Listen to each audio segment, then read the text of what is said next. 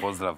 E, Aco, e, ja bih voljela da pustim jedan snimak koji je inače viralan e, na društvenim mrežama i širi se, a mislim da je reč o koncertu Arena 2013. godina i svi komentarišu kako ti to izazoveš tu neku emociju u publici, da svi plaču.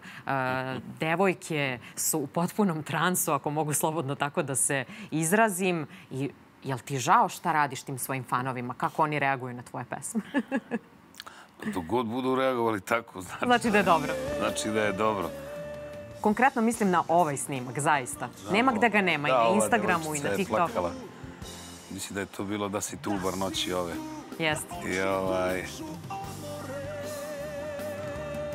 I nju sam jednom prilikom imao ovaj, jednom imao priliku da je upoznam i to je sasvim slučajno bilo zamisli da sam je prepoznao. Uh, posle ko zna koliko vremena.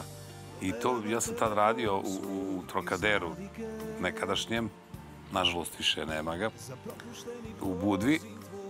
I ovaj, dok sam pevao ovako u publici sam pogledao i video ove okice koje sam tad video ovaj, prepoznao sam i smejali smo se, ono, divna jedna devojčica, baš sjajan lik.